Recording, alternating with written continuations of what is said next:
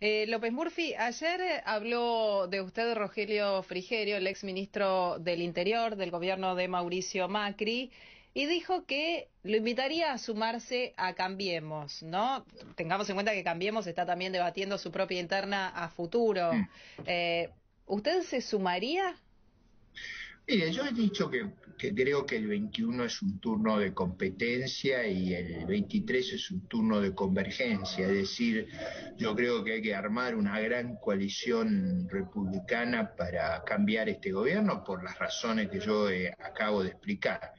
Yo tengo muy buena relación con Rogelio Frigerio, como con muchos dirigentes de la oposición, y trato de mantener el mejor diálogo posible me reitero en lo que he dicho, o sea, yo creo que el turno este es un turno de competencia, de poder mostrar los matices, es una elección por distrito, es una elección de legisladores. Ahora, en, algunas provincias eh, es posible que el nivel de organización nuestro no alcance a, poder... Eh, digamos, fructificar.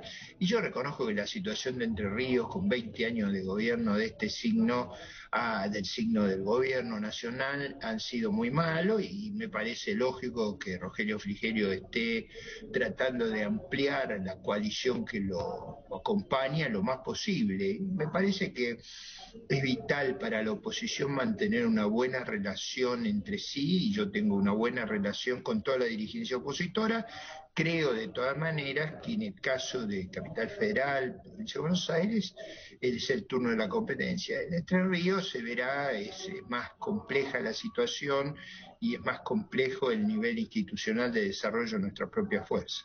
¿Usted se siente más